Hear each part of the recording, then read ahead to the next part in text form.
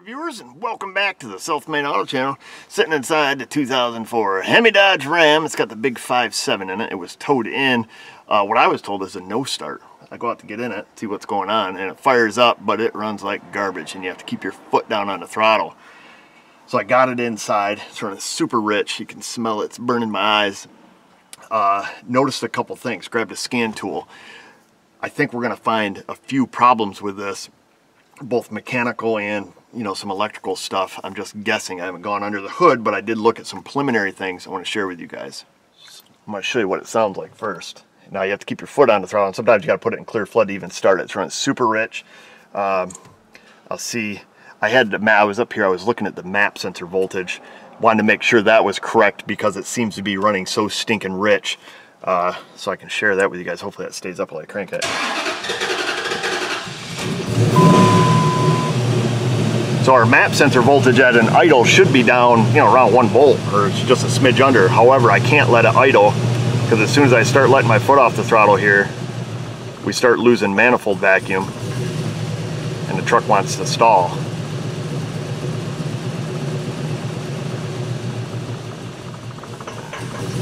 All right, but I do believe our map sensor is working because it does go down into a vacuum, but wants to stall out on us. So my gut was telling me right off the get-go is your EGR valve is stuck open because that's what this thing's running like.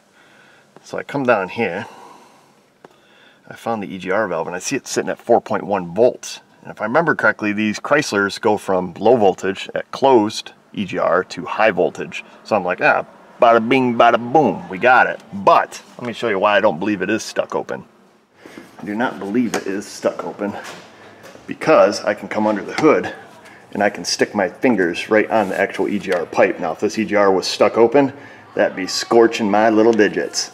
But it's not. I see it as a new valve, so it's likely, you know, aftermarket. It's probably junk, and that's why it's at 4 volts, unless I'm remembering it correctly. Maybe they go from high voltage to low voltage, I don't know. But this is what she looks like under the hood. It's got a little of kind of Natalie over there barking, a lot of MSD stuff. And I'm gonna show you one other thing I noticed. I noticed the way it cranks over. It sounds like it has a dead cylinder. So if it's, you know, related to the poor running, I don't know, but let's have a listen. You'll hear the cylinder missing.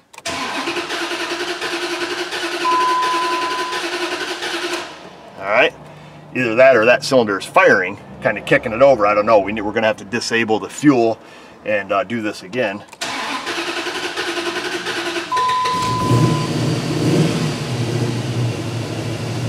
Just wanted to clear it out. All right, so what I would do, if it was me, I would do a relative compression test, find out what cylinder's not contributing, so to speak, and see if that has anything to do with our rich running. All right, folks, so I've got the Pico hooked up. What we're gonna do is a relative compression test. Now we're certain that we have a cylinder that's low. We can tell just by cranking it, you know, and listening to it with just our ears.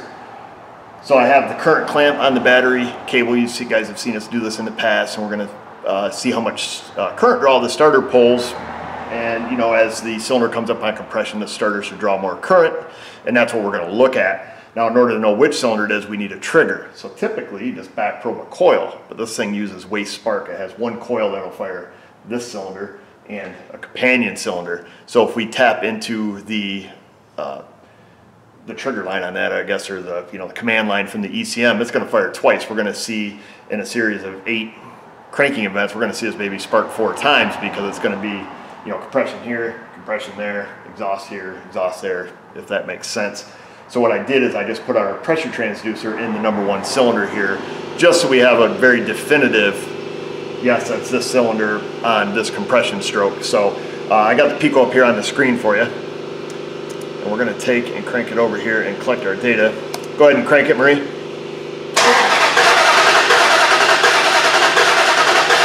That's good. All right. So let's have a look here at what we have. We will zoom in on a couple events, okay?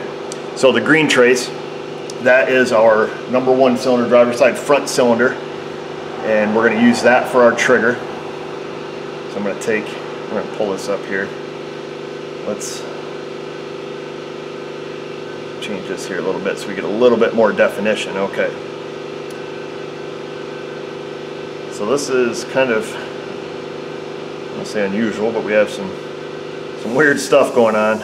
Uh, now our red trace is the number one firing event for the number one cylinder is the, is the coil trigger from the ECM. Every time the ECM goes from you know 12 volts, pulls it down.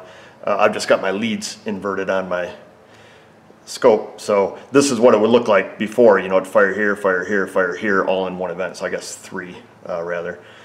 Uh, anyhow, let's see. We definitely have one cylinder that's very, very low. So this cylinder here, so I don't, I think the fire number is one, eight, four, I'm sorry, one, eight, four, three, six, five, and that'd be seven, two, and then start back over. It's interesting that eight and two seem to be quite high. Are they companions? Uh, let's write this down on the board. So I just looked. It was a good guess on the firing order. It is right, same as it was Chevys.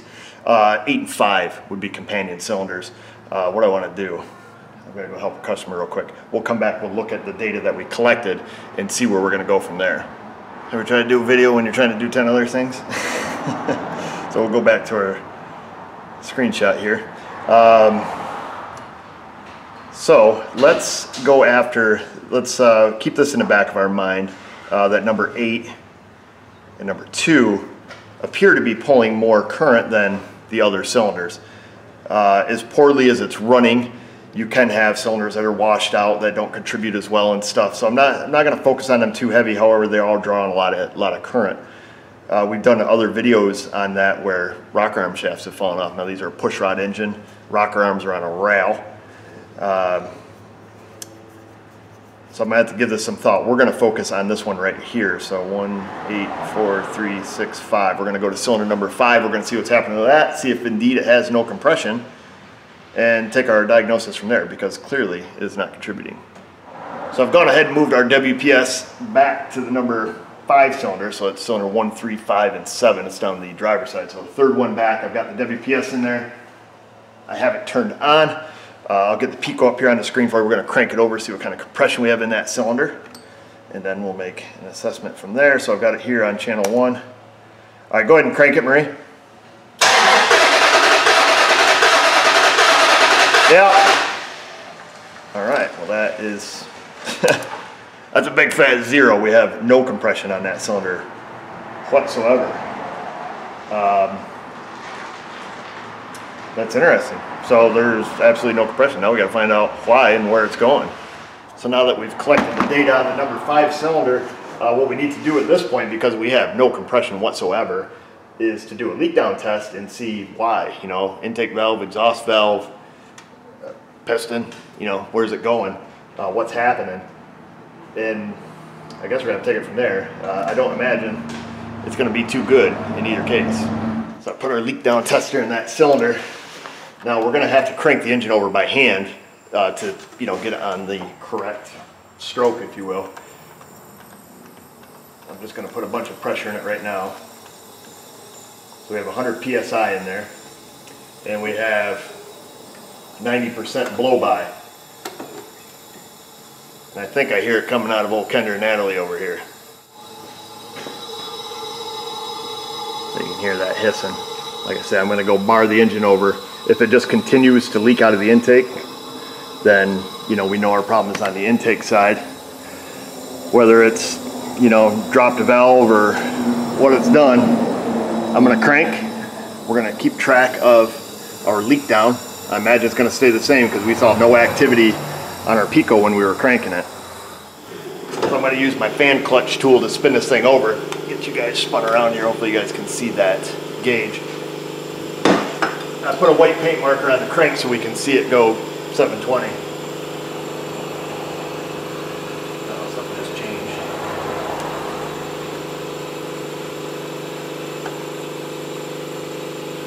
There you go. See if you can hear it leaking by that air filter. So you still hear it hissing right there? Like you hear, Oh, yeah. yeah, you hear air hissing there? Still hear it? Yep. Sounds like it's pushed out. as well. It's not changed tone, but you still hear it coming out of there. Yeah, try again. You whistling now? Yeah. now it's whistling. Leak down still the same. Oh, hear that? It's singing different tunes, but it's still singing. Yeah, you can actually hear it rushing out of the intake now.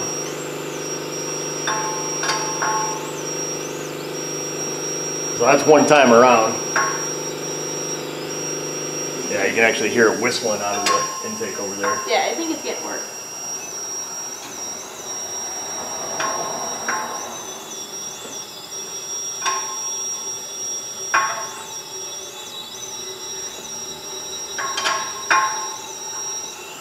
Almost back around 720. Change tones there a little. Yep.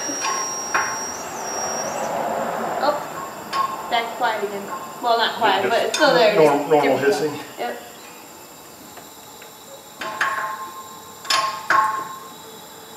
All right, we're back to where we started. And it is blowing out of the intake the entire time, sometimes worse than others. So at this point, I gotta make the call. There's really no sense of going any further. Uh, you know, regardless if there's an issue with EGR or whatever, you know, we saw there initially.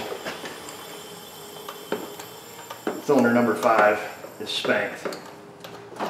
We need to get permission from the customer to go further or if he's gonna junk the truck or whatever he's gonna do.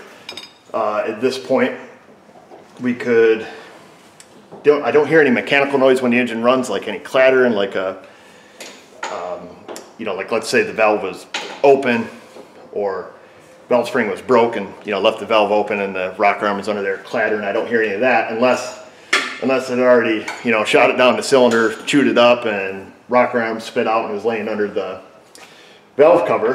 Uh, in that case, then it wouldn't make any noise typically. Uh, usually you'd have an oil pressure loss, you know, as a lifter sitting there open, something like that. Uh, but I think if it was me, I'd pull the valve cover with the intention of pulling the head and then take it from there. So we'll see what he says. But for right now, we're gonna have to leave it at that. That's the end of the video, folks. There's nothing more to do. And uh, I can't think of anything else to do. And nope, can't think of anything else. So we're gonna leave it at that. Now, a couple people might be thinking, well, what about those other two cylinders that seem to have, you know, higher than normal contribution? I guess unless we're willing to progress and, you know, chase this problem down, I'm not gonna go too far there. If it seems that he's willing to, you know, yeah, we're gonna pull ahead or, you know, whatever we decide to do there, uh, at that point, I may go through and do an actual compression check on the whole, you know, on the whole engine, just to see, just to get the overall health. It is up there in miles. I think it was uh, 140 something, if I remember correctly. Uh, and that's it. Go down there, subscribe, leave your question, comment, criticism, or concern. And just remember, viewers, if I can do it, you can do it. Thanks for watching. Bonus footage. I feel I owe you guys some closure. I did get permission from the customer to pull the driver's side valve cover. And that is what I found. The intake valve spring was busted, but it was all wrapped up around and holding the spring retainer up against the rocker arm, which is sits over there now. Uh, and that's why I wasn't having any mechanical noise. Typically when I've seen these break, they break at the bottom of the coil and you get a ton of valve train noise. Uh, impossible to record this where it's at, you know, given that it was, let's see, this valve right there, super enhanced. I did pop the new one on. Uh, I would have loved to have shown you, but you can see my limited area. We can see now we have only well, a couple percent of leak down, roughly. So that's super good. I'm gonna take and throw this thing back together and we're gonna see if it runs.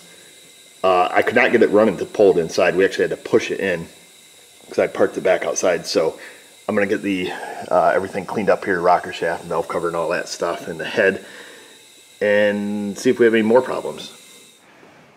We're all back together. Coils are on it. Everything is plugged in. Valve cover's on. New gasket. Battery's hooked back up. Weak as it may be. Whoa. Alarm gonna go off. Nope. Moment of truth.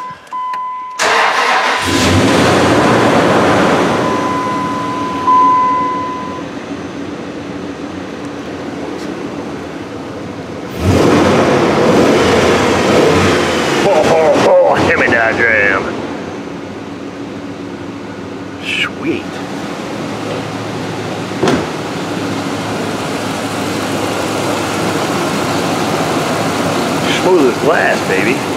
I did pop that spring apart so we could have a little look-see at that.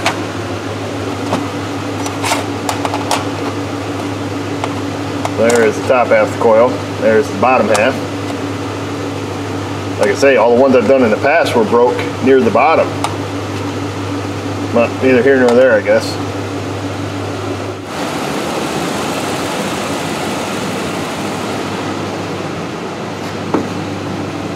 I'll let her warm up here. Thought it's got clear codes out of it, but must be the battery being unhooked for so long did the trick. Sounds fantastic.